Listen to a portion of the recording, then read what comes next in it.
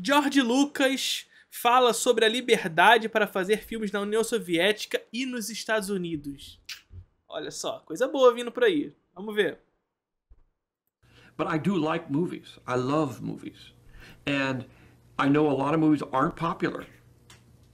And you can say that going in. One of the reasons I retired is so I could make movies that aren't popular. Because in the world we live in, in the system we've created for ourselves in terms of it's a, a big industry, you cannot lose money. Olha só. Primeira coisa aqui, né? O George Lucas está demonstrando aqui pra gente que, logo de cara, que existe um condicionamento na indústria do cinema norte-americana que é ganhar dinheiro. Logo, o que ele está tentando dizer aqui pra gente é que não há só um tipo de censura. Tá? A censura, gente, isso eu já falei com vocês anteriormente, mas a gente precisa trabalhar isso novamente para conversar esse, sobre esse vídeo. A censura, gente, ela é uma ferramenta. Saca? Sabe quando eu digo para vocês que técnica é meio no cinema? Então, a censura é uma ferramenta, é uma técnica que a ela é empregada um trabalho para determinada finalidade. E é isso. Por que, que eu digo que é isso e ponto? Porque é idealismo lutar contra a censura como uma ferramenta histórica. Porque ela é só uma ferramenta. Ela é só uma ferramenta. É como se a gente estivesse lutando contra o martelo. Contra o serrote. Saca? Não faz sentido. Ela é uma ferramenta. E ela é histórica. E o que, que, eu, que eu digo que ela é histórica? Porque ela está em todas as sociedades que já existiram. Não há lastro na realidade de qualquer sociedade que não tenha censura. Que não exista a censura. Agora, o que é censura? E aí o George Lucas, quando ele fala isso aqui, ele está nos demonstrando que não há só um tipo de censura. Porque, geralmente, o que o liberal faz é atrelar a censura como uma ferramenta do Estado. Que o Estado malvadão se utiliza da censura para cercear a liberdade das pessoas. Existe isso? Claro que existe. Claro que existe. Entretanto, é de se compreender, há de se compreender o discurso, a ideologia que está por trás disso.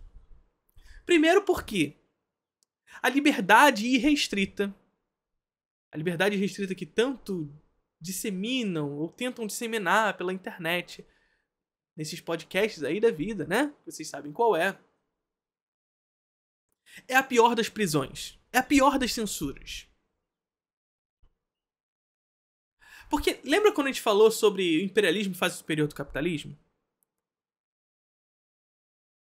Pensa comigo. Pensa se o imperialista, aquele que detém consigo os meios de produção, ou aquele que detém os meios de produção, vão querer ter a mesma liberdade que todos. Portanto, gente, a jurisdição burguesa, a jurisdição burguesa, ela é idealista. A jurisdição burguesa, ela é maravilhosa na leitura, é maravilhosa no que está escrito. Ah, todos têm liberdade, Todos têm direito de ir e vir. Isso tudo se confere na realidade? Claro que não. É impossível, porque é ideal. É ideal. E quando você vai tentar dar àquela jurisdição um caráter material, é impossível. Porque não tem lastro. Porque não tem lastro. E aí todos somos iguais perante a lei, mas perante a realidade não. Aí veja, todos nós, imagine uma condição de liberdade irrestrita, tal como eles gostam de dizer. Tal como eles gostam de dizer. É, eles gostam de dizer que deturparam o liberalismo, né? Só que não, é, não deturparam. O liberalismo não existe porque não tem como existir tal como eles pensam, né? Primeiro porque a, a ideia máxima que eles gostam de, de, de desvincular é que não há capitalismo sem Estado. Se não há capitalismo tem Estado, não existe essa história de livre concorrência, de etc e tal e tudo mais, né? Não existe isso. Agora, veja. Se mais uma vez a censura é uma ferramenta histórica e, veja, liberdade irrestrita é a pior das censuras,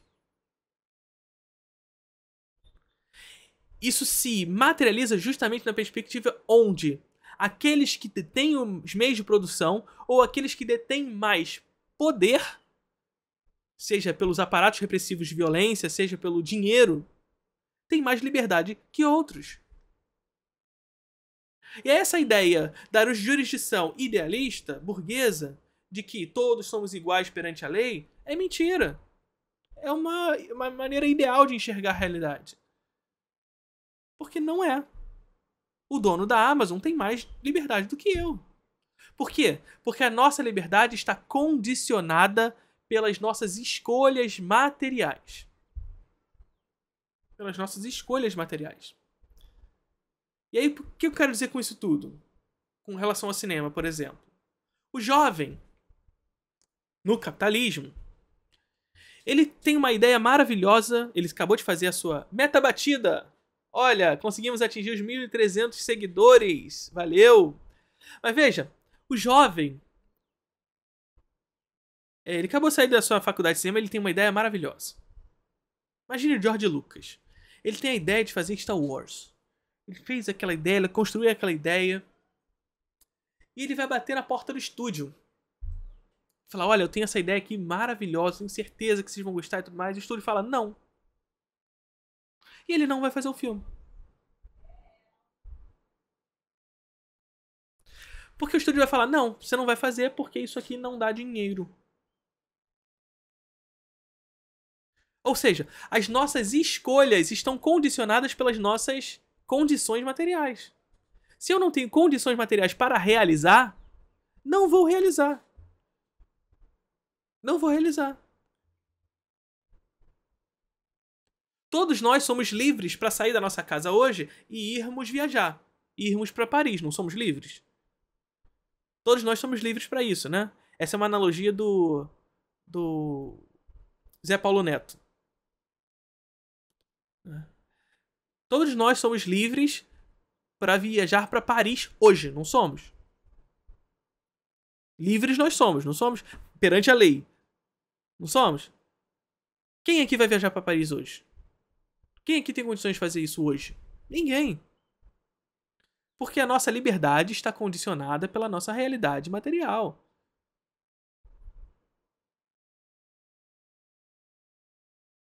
Saca? Mas o Jeff Bezos pode simplesmente pegar seu aviãozinho hoje e ir lá almoçar em Paris. Se quiser. Ele é mais livre que outros.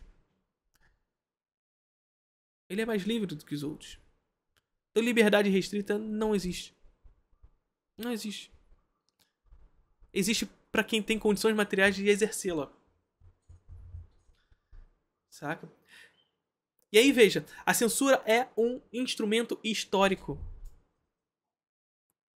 E que, como o George Lucas está demonstrando aqui pra gente, pelo menos aqui até agora, sendo um instrumento histórico, existem vários vários caráteres, várias maneiras pelas quais ele aparece para nós.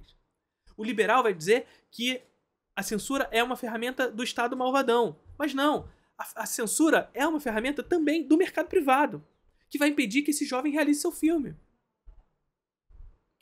Que vai impedir moralmente e estruturalmente que esse jovem realize seu filme. Porque ele quer, mas ele não tem como. Não tem dinheiro para fazer. Cinema é uma arte cara. Saca? Existe a censura moral também, por exemplo.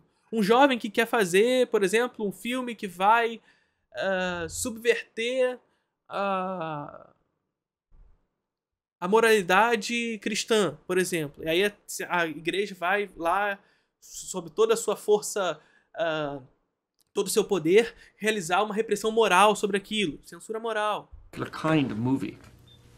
And I used to say this all the time when people uh, you know, back when uh, Russia was the, the Union of Soviet Socialist Right. Republics. And they'd say, oh, but aren't you so glad that you're in America? I said, well, I know a lot of Russian filmmakers. They have a lot more freedom than I have. Muitos diretores russos tinham tinha mais liberdade do que eu tenho para realizar os meus filmes nos Estados Unidos. né? Porque é isso. Nos Estados Unidos, a produção cinematográfica está. a- George Lucas, por exemplo, no caso, está condicionada a um estúdio querer realizar os seus filmes. Porque ele, por si só, não teria, naquele momento, hoje ele já é bilionário, né? E é o segundo cineasta mais rico do mundo agora, né? É, está condicionado à sua condição material. Né? Percebe? Então ele bate na porta do estúdio, estúdio- e o estúdio vai falar: não, você não vai, não, não vai realizar. E mais do que isso. Mais do que isso. Se aceitar, vai ser sobre as nossas condições. Sobre as nossas condições. Você tem que seguir na linha do que dá lucro. Do que dá lucro. Dos interesses específicos do lucro. Então o artista ele tem uma mega ideia assim, não, eu quero fazer o filme dessa forma, vou experimentar aqui, experimentar ali. O estúdio vai falar, nada de experimentar. Tem que seguir um padrão, porque é o padrão que dá dinheiro. É o padrão de gosto. Lá do Adorno Horkheimer, que a gente já estudou aqui, né? Então isso que dá dinheiro. Então a gente tem que seguir essa lógica. Ou seja, cerceando a liberdade do artista. Censura? Ou não é?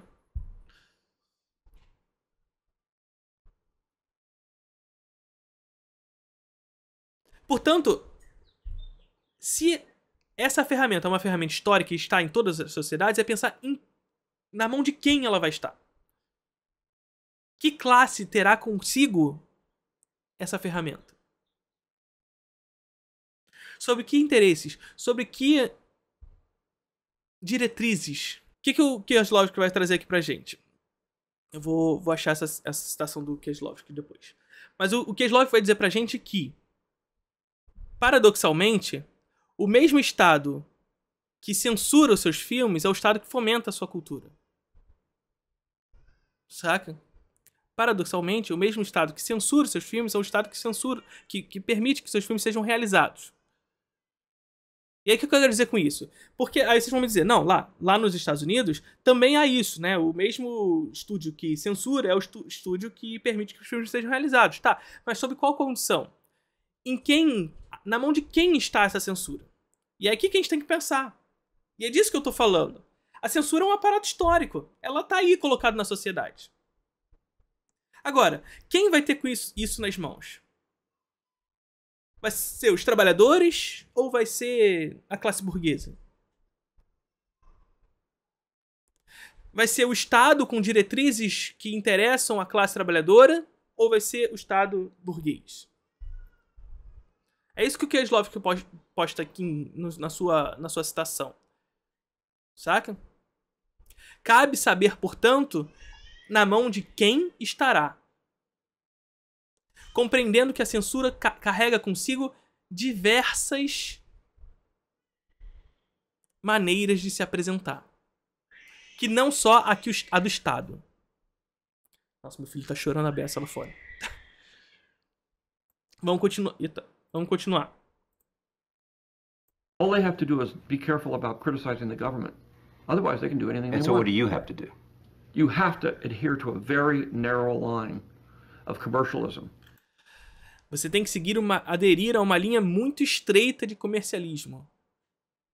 Saca? Ou seja, você tem que seguir um padrão muito estreito para atender aos interesses do mercado. Ou seja, cercear a sua liberdade, cercear aquilo que você deveria e queria realizar.